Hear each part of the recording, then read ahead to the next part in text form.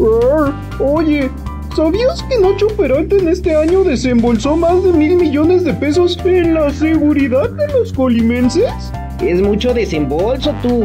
Ah, pero los embolsados que aparecen día con día salen muy costosos. Pero no se lo vayas a decir ah. a nadie.